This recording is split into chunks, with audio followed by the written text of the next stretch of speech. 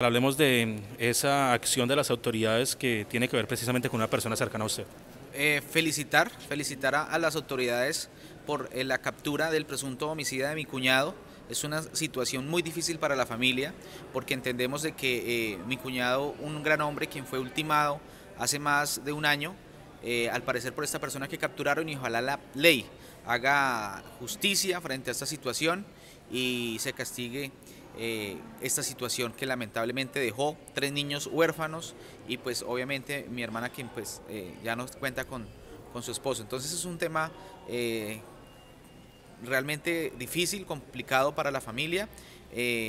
pero pues nos alegra muchísimo, muchísimo que este señor por fin se haya sido capturado y ojalá la investigación y obviamente la justicia y las audiencias determinen la situación y obviamente pues pongan eh, sobre las rejas al asesino de Andrés Velázquez, un líder, una persona a quien eh, se desempeñó en el municipio de San Antonio, eh, corregimiento de Playa Rica, como una persona que le servía a la comunidad, líder del sector de cacaoteros y también fue líder del sector de aguacateros de esta región. Recordemos cómo y dónde sucedieron los hechos.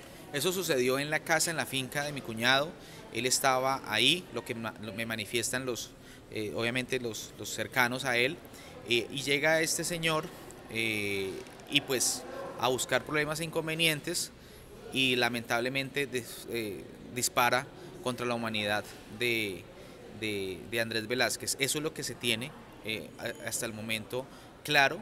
Obviamente las autoridades frente al tema de audiencias, obviamente indagaciones y testigos tendrán que eh, llevar los hechos reales. No puedo ser irresponsable yo acá eh, en decir más porque pues sería muy irresponsable que sean las autoridades quien realmente eh, lleven con la captura del homicida de mi cuñado Andrés Velázquez, que la ley haga justicia y que Dios también pues nos acompañe en este proceso tan desafortunado eh, para nosotros. ¿Dónde se dio la captura, concejal? ¿Y qué más se sabe de ese victimario, presunto victimario? Eh, la captura se dio en, el, en otro municipio, en el municipio de Villarrica, Tolima. Eh, dicen, no me consta, que al parecer el señor que capturaron es, cuña, es cuñado del alcalde de Villarrica, y, pero se, y se encontraba en el municipio de Villarrica, y que pues al, en el momento de la captura se llevó a, al municipio de Melgar y ahí pues un juez determinó la detención intramural mientras se surten las audiencias correspondientes del caso.